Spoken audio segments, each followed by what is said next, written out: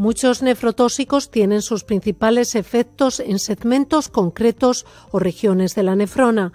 Por ejemplo, el glomérulo es el sitio principal de acción tóxica para complejos inmunes, mientras que el túbulo proximal es el objetivo principal para la mayoría de antibióticos nefrotóxicos, hidrocarburos halogenados, micotoxinas y metales pesados.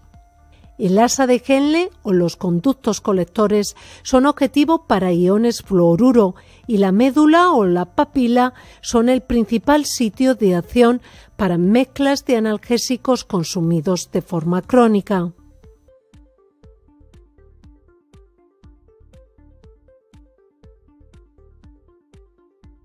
Las razones que responden a estas lesiones selectivas son complejas. En parte se pueden atribuir a las diferencias específicas de cada lugar en el flujo sanguíneo, al transporte y la acumulación de productos químicos, a propiedades físico-químicas del epitelio, a la reactividad de las dianas celulares o moleculares, al balance de reacciones de bioactivación o de tosificación, a la energía celular y a mecanismos de regeneración o de reparación.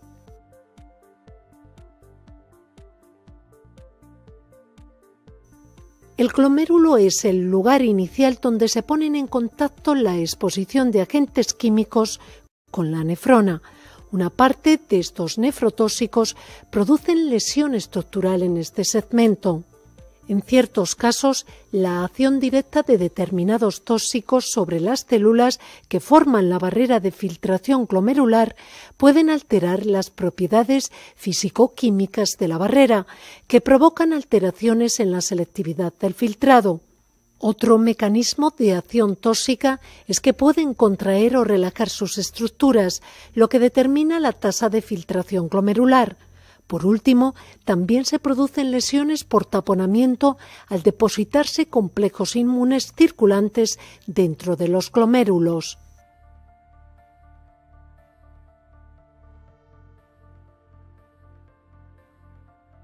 El túbulo proximal es el sitio más frecuente de lesión renal inducida por sustancias tóxicas.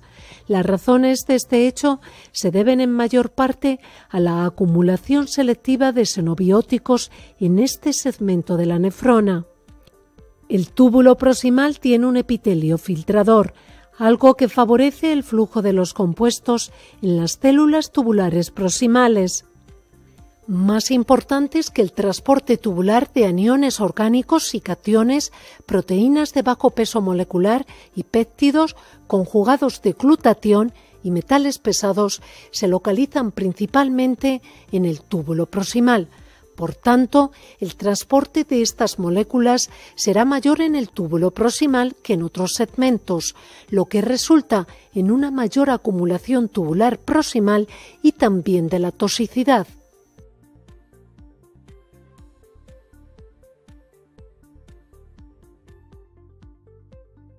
En comparación con el túbulo proximal, la lesión química inducida de las estructuras tubulares más distales es un hecho infrecuente. Se manifiesta principalmente en anomalías funcionales, deterioro en la capacidad de concentración o en defectos de acidificación. Los medicamentos que han sido asociados con lesión aguda en las estructuras tubulares más distales incluyen anfotericina B, cisplatino y metosiflurano.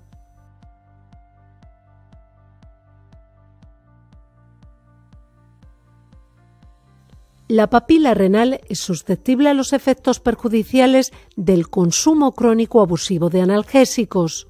El objetivo inicial son las células intersticiales medulares, seguido por cambios degenerativos en los capilares medulares, asa de Henle y los túbulos colectores. No son conocidos exactamente los mecanismos que subyacen a este daño selectivo en la papila, pero el gradiente intrarrenal de actividad de la postaglandina H sintasa ha sido implicado como un factor que contribuye.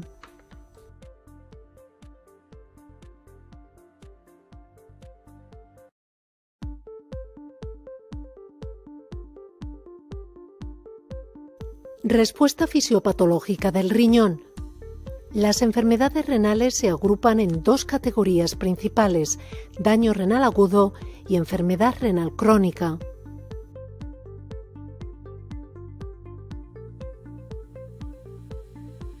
El daño renal agudo se caracteriza por una lesión aguda al riñón que da lugar a alteraciones funcionales o estructurales. Puede tratarse desde una disfunción leve hasta el fracaso renal que requiere diálisis.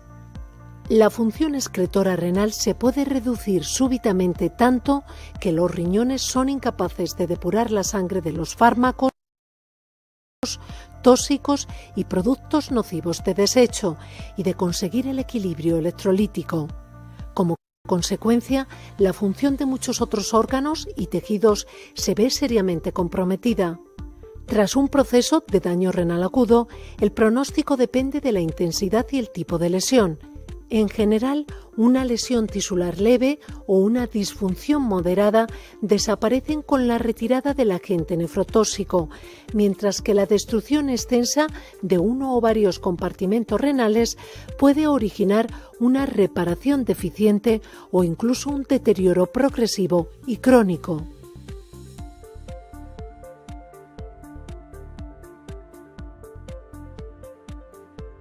El daño renal agudo se clasifica en prerrenal, renal o postrenal en función del mecanismo que lo desencadena. Las causas prerrenales y renales representan el mayor porcentaje de casos, aunque es frecuente observar una etiología multifactorial y que un mismo agente nocivo produzca simultáneamente efectos prerrenales y renales.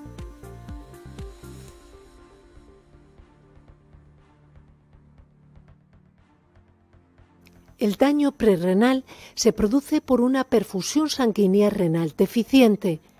El descenso de la perfusión renal puede deberse a una disminución súbita y aguda de la presión arterial o a una interrupción del flujo de sangre hacia los riñones como consecuencia, por ejemplo, de un traumatismo. Esta situación lleva a una caída en la filtración glomerular y al aumento de la reabsorción tubular de agua, electrolitos y otros integrantes de la orina primaria, lo que produce oliguria.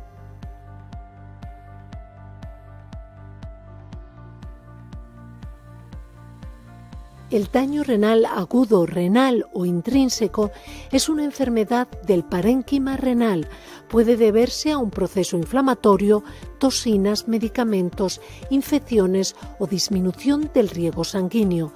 Como consecuencia, pueden verse afectados los túbulos, el glomérulo o el intersticio.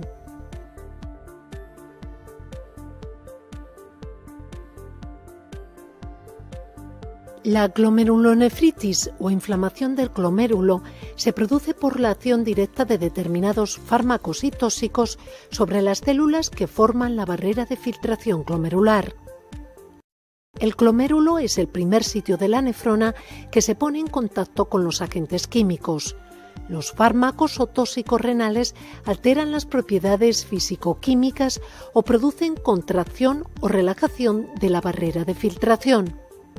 Como consecuencia, los tóxicos producen alteraciones en la selectividad del filtrado y en la tasa de filtración glomerular. Son ejemplos de este tipo de daño la ciclosporina, la anfotericina B y la gentamicina. La lesión glomerular inducida por sustancias químicas también puede estar mediada por factores endógenos extrarrenales, como ocurre en las reacciones de hipersensibilidad tipo 3. En este caso, los complejos inmunes circulantes se depositan en los glomérulos.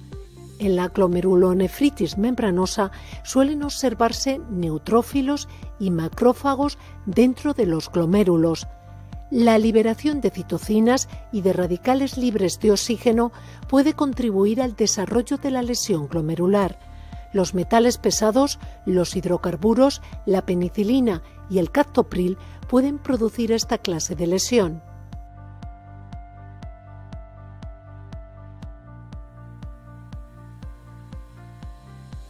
Las afecciones tubulares son la causa más frecuente de daño renal agudo intrínseco en los adultos.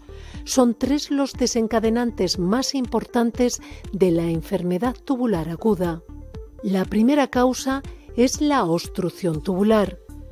Puede producirse por la precipitación en los túbulos de ácido úrico, proteínas, pigmentos o de determinados xenobióticos.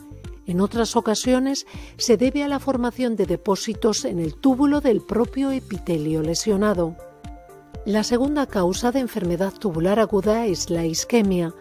La hipoperfusión renal desencadena falta de oxigenación de las células tubulares, produciendo necrosis tubular aguda. Las células muertas se desprenden hacia la luz tubular. Esto lleva a la caída de la filtración glomerular desencadenada por el retrocontrol túbulo glomerular. La tercera causa de necrosis tubular aguda es la acción directa de ciertos fármacos o tóxicos como aminoglucósidos, metales pesados, mioglobina, etilenclicol, medios de contraste y cisplatino, entre otros. Al ser el riñón un órgano muy vascularizado, presenta gran capacidad de concentración de estas sustancias tóxicas en el túbulo, lo que lo hace más vulnerable. Los túbulos proximales son las estructuras más susceptibles al daño renal por efectuar principalmente la reabsorción isoosmótica y la secreción es el lugar donde con más frecuencia actúan los tóxicos y esto es algo que se debe en parte a la acumulación de tóxicos en esta parte de la nefrona. Además, las células del túbulo proximal parecen ser más sensibles a las lesiones isquémicas que las del túbulo distal. Los tratamientos de larga duración con fármacos, como los analgésicos y los AINES, pueden producir lesión medular.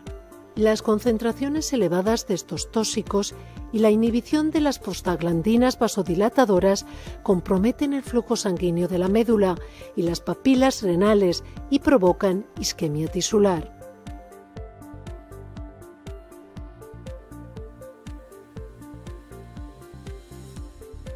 Las afecciones del intersticio se caracterizan por inflamación, dando lugar a la nefritis túbulo intersticial aguda, ocurre en casos de alergia a medicamentos como los antibióticos y los AINES. La nefritis intersticial también puede ser secundaria a infecciones y enfermedades sistémicas.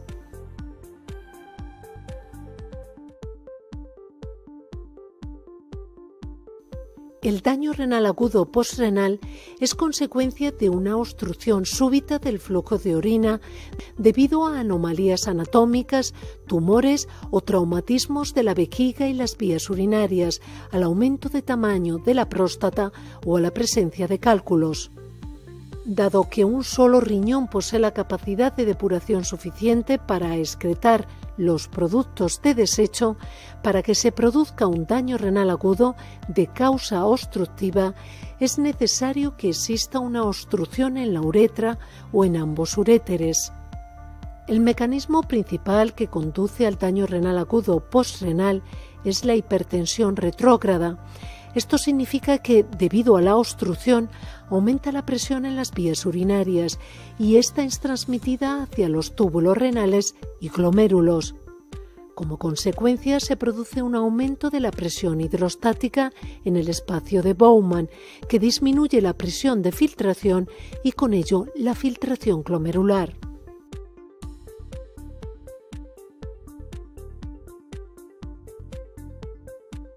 La enfermedad renal crónica engloba un conjunto de enfermedades heterogéneas que afectan la estructura y función renal de curso crónico.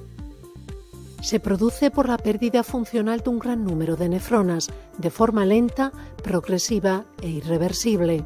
Los síntomas clínicos no aparecen hasta que el número de nefronas se reduce al menos un 70-75%, en casos extremos, las nefronas restantes no pueden asumir la funcionalidad necesaria para mantener con vida al paciente, de tal modo que es necesario un tratamiento sustitutivo de trasplante o diálisis. La enfermedad renal crónica se presenta asociada a cuatro patologías crónicas de alta prevalencia, como son la diabetes, la hipertensión arterial, la insuficiencia cardíaca y la cardiopatía isquémica. Además, es responsable de una tasa significativa de morbilidad y mortalidad. Se estima que el 10% de la población mundial sufre enfermedad renal crónica.